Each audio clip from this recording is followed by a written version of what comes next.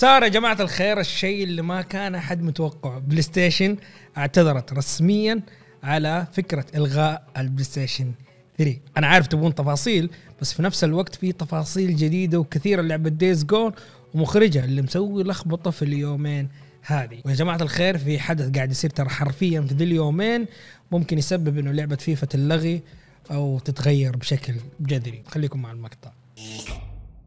السلام عليكم. كيف حالكم يا جماعة الخير؟ إن شاء الله طيبين ومبسوطين. قبل لا نبدأ ونخش في تفاصيل الفيديو اليوم حاب أذكركم بال server الخاص فينا في ال Discord.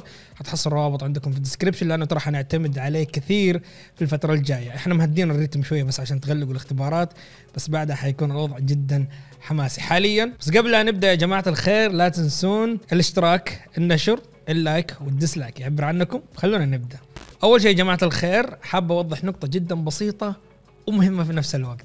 المراجعة اللي سويناها قبل أسبوعين تقريبا ترى مجرد مراجعة ما هي مدفوعة لا أقل ولا أكثر.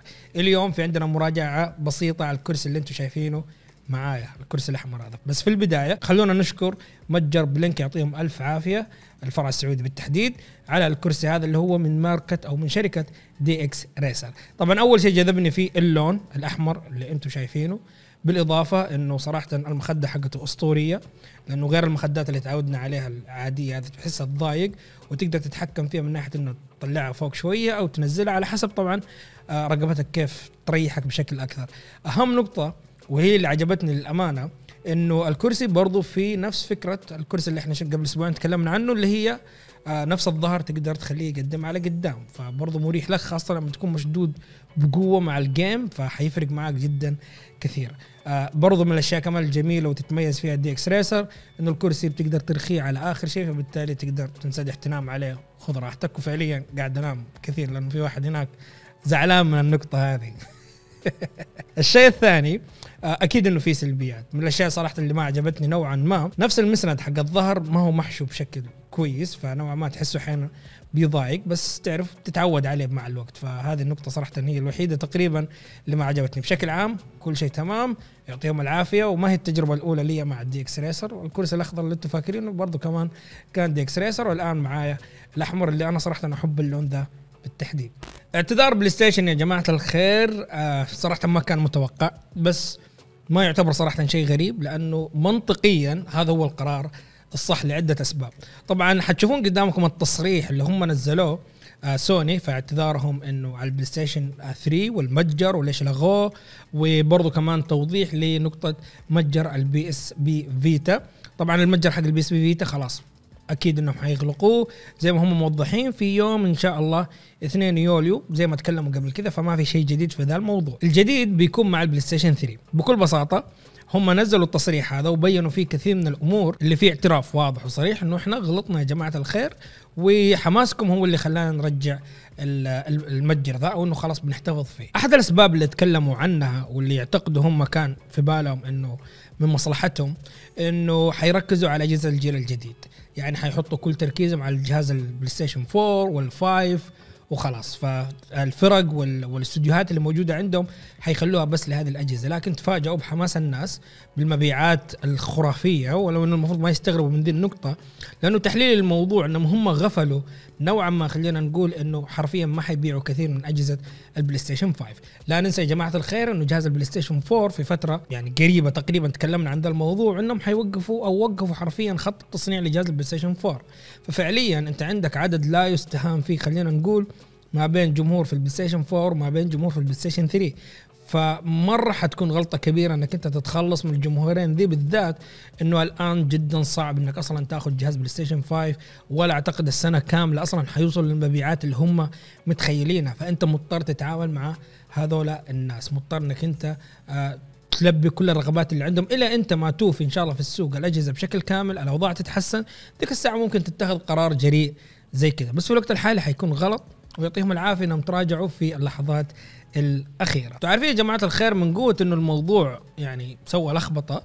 آه أي واحد عنده ترى ألعاب PlayStation 3 سي دي وجديده بقراطيسة على قولتهم أحتفظ فيها ترى احتمال ترتفع الأسعار على قولة زكريا يعطيه العافية في الموقع لأنه فعليا الجمهور فجأة طلع حق ال PlayStation 3 ولو إنه أنا متأكد موجود من أول فما تقدر ارجع كري تستهين فيه. حتى لو عندك ألعاب أحتفظ فيها لأنه ممكن تطلع PlayStation 5 على حس الألعاب ذي.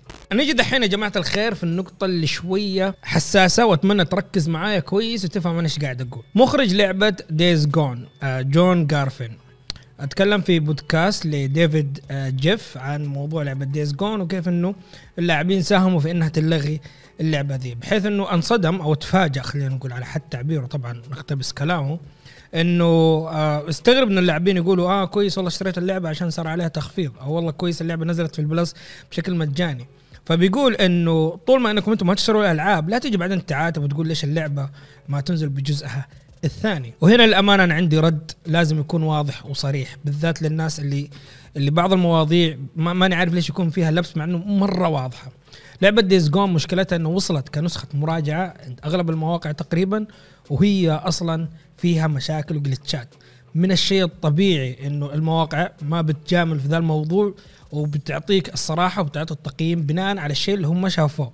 إذا في تحديث إذا في شيء فعليا أنت بتشوف إنه ممكن يخلي اللعبه يطلع شكلها سيء في التقايم فبالتالي من الأفضل إنك أنت ترسل مثلا إنه يا جماعة الخير ترى الأخطاء دي ممكن تقابلوها فمشوها لأنه هذه كلها حتتعدل مثلا في الباتش الأول أو إنه تعطيهم اللعبة من الأساس وهي متعدلة جاهزة زي ما بنشوف في أغلب تقريبا الألعاب. بعضكم حيجي حيقول معليش بس صارت مع Cyberpunk وجاملتوها. لا Cyberpunk وضعها كان مرة مختلف.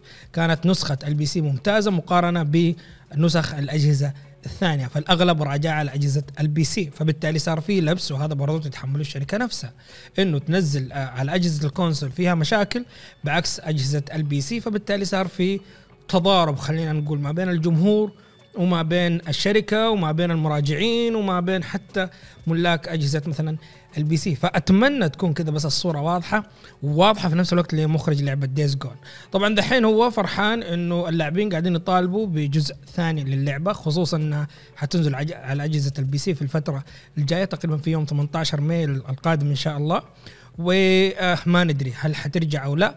أنا عن نفسي شخصيا أضم صوتي مع أي شخص بيقول أنا أتمنى الاستوديو اللي ماسك لعبة Days Gone خصوصا في أنباء إنهم قاعدين يشتغلوا لعبة عالم مفتوح يشتغلون على لعبة Syphon Filter. أنا أشوف أفضل إنه وحشني صراحة جابرييل لوجن وال group هذاك الطيب. هذيك اللعبه صراحة أسطورية. ف ما أدري أعطوني رأيكم بكل شيء قاعد يصير مع لعبة Days Gone والترند اللي في الفترة الأخيرة. والآن يا جماعة الخير مع أخبار. سريعة. شون سكايج مخرج لعبة Uncharted The Lost Legacy أعلن اليوم وخلال حسابه الخاص على منصة تويتر بأنه حيعود إلى استديوهات Naughty Dog حيتولى منصب مخرج إبداعي وكاتب. الاستوديو طبعا أعلن على أنه متحمسين لرجعة شون ويطلعون إلى الأشياء اللي حيشتغلوا فيها في الفترة القادمة. هل هذا معناته أنه بنشوف Uncharted في الفترة القادمة؟ ما أدري. trailer جديد للعبة Returnal بيستعرضون فيها أنواع الأعداء اللي موجودين في اللعبة. للتذكير يا جماعة اللعبة إن شاء الله حيتم اصدارها في يوم 30 من الشهر الحالي وحيكون طبعا في مفاجآت داخل اللعبة ما كشفت عنها سوني لسه إلى الآن. في شهر مارس تقريبا الماضي كشفت سوني إنها حتقدم عشرة ألعاب مجانية عشان تشجع اللاعبين إنهم يبقوا في منازلهم في حملة Play At Home وبالفعل أعلنوا على الألعاب هذه ولكن الأهم إنه اللعبة العاشرة والأخيرة حتكون لعبة Horizon Zero Dawn واللي حيتم إن شاء الله اختيار موعد منفصل لتوفيرها بشكل مجاني لأجهزة البلاي ستيشن 4 والبلاي ستيشن 5 من خلال التوافق المسبق. إن شاء الله حتنزل اللعبة اليوم وأنتم قاعدين تتفرجون المقطع بالتحديد على الساعة 6 الصباح بتوقيتنا في المملكة العربية السعودية والساعة 5 الصباح بتوقيت جمهورية مصر العربية وحتظل إن شاء الله مجانية حتى الخامس عشر من مايو في ذات التوقيت. يعني وانت تتفرج في الغالب حتكون اللعبة موجودة ففرصتك تجربها وتلعبها. في الفترة الأخيرة انتشار شائعات كثير عن كونامي بأنهم شغالين على حزمة خاصة للعبة Metal Gear Solid Collection واللي حيكون فيها الأجزاء الأربعة الأساسية للسلسلة بنسخة محسنة على أساس إنها تنزل على أجهزة البلاي ستيشن 5 وبرضه كمان سبقتها إشاعات على إنه في remake للجزء الأول من تطوير استوديو Bluepoint الشهير وحيتم إطلاقه حصريا على جهاز البلاي ستيشن 5 لكن تخيلوا مع كل اللخبطة هذه طلعوا لنا بالتغريدة وحقتبس طبعا الكلام اللي مكتوب بالصورة اللي أنتم شايفينها. توم تحدثنا عن هذا. يرجى التحقق من برنامج الترميز الخاص بك كل صباح للحصول على تحديثات الاجتماعات وعمليات الإخلاء في حالة غارات الشركات العسكرية والأمنية.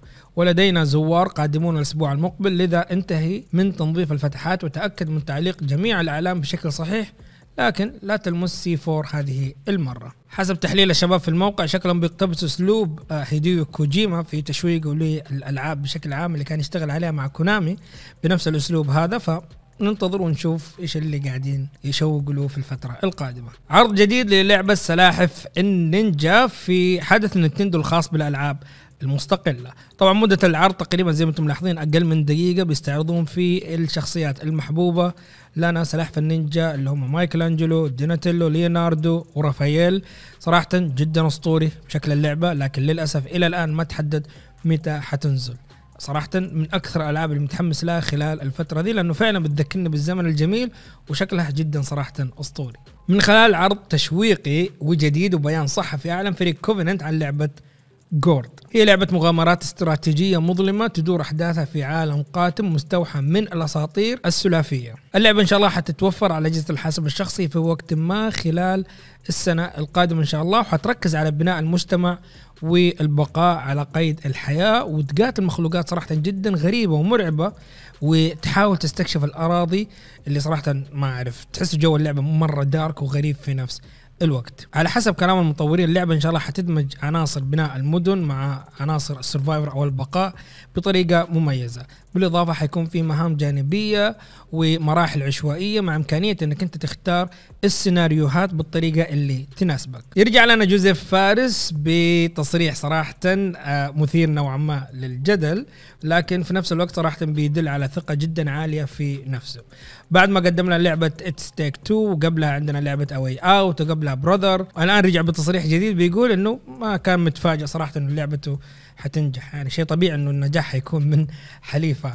والآن متحمس على إنه بيشاركنا لعبته اللي شغال عليه واللي متأكد 200% لو تشوفون بس المراحل الأولى على كلامه حتعرفون قد إيش إن اللعبة هذه حتكون حماسية. فصراحة أنا جدا معجب بالثقة العالية في نفسه ومتحمس برضه أشوف لعبته القادمة. عودة لعبة باي شوك بالجزء الرابع لكن هذه المرة مع استوديو جديد تم افتتاحه في سنة 2019 من شركة طبعا 2K طبعا الاستوديو الجديد حيكون اسمه Cloud Chamber وما عندنا أي تفاصيل عن اللعبة غير إنه حسب الوظائف اللي هم معلنين عنها ومحتاجينها إنه شكل اللعبة حتكون عالم مفتوح ما حتكون لعبة خطية زي ما تعودنا في سلسلة BioShock طبعا حتكون في مهام أساسية وقصص ثانوية والتفاعل حيكون بشكل مباشر مع الأحداث. من خلال منشور على مدونة لعبة Apex Legends أعلن شاد جرينور مخرج اللعبة.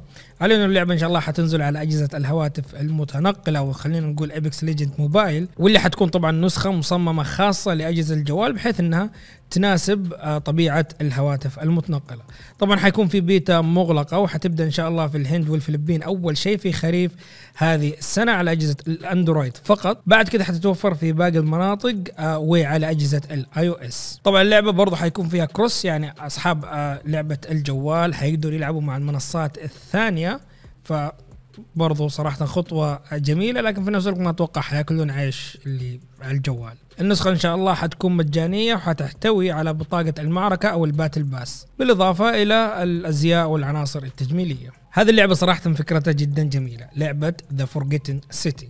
بدأت في البداية كتعديل على لعبة Skyrim بعد كده استحسنت على إعجاب اللاعبين وحصلت كمان على جائزة نقابة الكتاب أو خلينا نقول إنه كتابتها فعليا كانت جدا جميلة. بحيث إذا أنت من الناس اللي ما قد سمعت عن اللعبة هذه بكل بساطة فكرتها إنه في مدينة رومانية قديمة تحت الأرض فيها 26 مستكشف محاصرين داخلها واحد منهم كسر قانون غامض وبسبب هذا الشيء ماتوا. فأنت طبعا حتحاول إنك تكتشف إيش سبب الموت وتحاول تفهم إيش اللي صار بالضبط وتشوف مصيرهم قدامك وتقدر تعدل وتغير حتى في مصيرهم. طبعا سوينا مقابلة مع الاستوديو المطور. حتحصل روابط عندكم في ال description للموقع للي حاب ياخذ تفاصيل كمان أكثر. اللعبة إن شاء الله حتتوفر على أجهزة البلاي ستيشن 5 الاكس بوكس Series والبلاي ستيشن 4 والاكس بوكس 1 والحاسب الشخصي والنينتندو سويتش. لكن إلى الآن ما تحدد لها موعد محدد وترى كل اللي شغالين عليها ثلاثة أشخاص. أمس تقريبا آه، فجأة ما ماني عارف أنا ماني متابع صراحة الكورة زي زمان بس بشكل عام أمس تفجرت كذا أزمة أو مشكلة كبيرة ما بين أندية أوروبا والاتحاد الأوروبي أو بطولة آه، أوروبا اللي أغلبكم بيتابعها وشايف الحماس اللي صاير في اليومين هذه اللي راح أتوقع برشلونة منهزم آخر شيء. ماني متأكد ما أنا من حق الكورة زي أول. بس ما علينا من ذا كله. الآن الفكرة إنه الاتحاد الأوروبي أو خلينا نقول أندية أوروبا بالتحديد ما يبغوا يلعبوا البطولة ذي لأنه فيها ظلم لهم بشكل عام. ففي أندية معروفة بقيادة ريال مدريد خلينا نقول إنه بيسوون بطولة كذا مستحدثة باسم سوبر أوروبا هذا اللي أنا فهمته. وما يبغوا يشاركون أبطال أوروبا. طبعا هذه تعتبر مشكلة كبيرة لأنه هذول موقعين إعلانات وراهم الفيفا وطبعا معاهم أندية كمان ومعاهم طبعا دواري كثير. برضو داخلين معاهم في الموضوع بحيث إنهم ضد الفكرة دي بشكل عام. يعني صارت حرفيا كأنه الاتحادات ضد الأندية. طيب إيش دخلت هذا كله في لعبة فيفا؟ لأنه فيفا محتكرة خلينا نقول أبطال أوروبا فهذا الموضوع حيضرهم بشكل كبير جدا بالذات على الجزء الجاي لأنه كله داخل في بعض الموضوع EA وعقدها مع فيفا آه، بشكل عام. فما حد عارف إيش حيكون مصير اللعبة لو ما انتهت الأزمة هذه في الوقت الحالي. طب نفرض إنه ما انتهت فعليا وصار في شيء مستحدث جديد. إيش اللي حيصير في لعبة فيفا؟ إيش اللي حيصير في أبطال أوروبا؟ هل حيكملوا اللعبة بدون شيء؟ يعني هل حيصير وضعهم زي طريقة لعبة PES؟ ما أدري. هل هذه حتكون أصلا فرصة للعبة PES إنها ترجع تسيطر على السوق زي ما سيطرت في أول ستة أو سبع أجزاء تقريبا؟ ما ندري. فصراحة آه، شيء مجهول بيبين لك قد إيش إنه الموضوع متشعب وقد إيش إنه في أطراف كثير آه، قاعدة تستفيد من موضوع كرة القدم والعقود والإعلانات وحقوق النقل والأشياء هذه كلها. فأتمنى من محبين الكورة إنهم يشاركونا آرائهم وش رأيهم إذا إذا أنتم طبعا من الناس اللي تحبون لعبة فيفا أو بتلعبون فيفا كثير إيش حتتوقعوا حيصير؟ وهل يفرق معاكم الموضوع أصلا كثير إنه ما عاد فيه الأطقم والأشياء دي ولا الموضوع بالنسبة لكم ما يهم أهم شيء بس تلعبوا وخلاص. فهذا اللي كان عندنا في مقطعنا اليوم. أتمنى اني كفيت ووفيت. نشوفكم إن شاء الله في مقاطع قريبة في الفترة القادمة. واللي يسالني عن سلطان ترى هو اللي قاعد يصور ورا. ما شاء الله صاير لك جمهور ذي اليومين. حركات والله. نيل دراكمان فيعطيكم العافية. نشوفكم إن شاء الله مقاطع قريبة. بس الاشتراك ال like والأهم من هذا كله طبعا النشر. مع السلامة.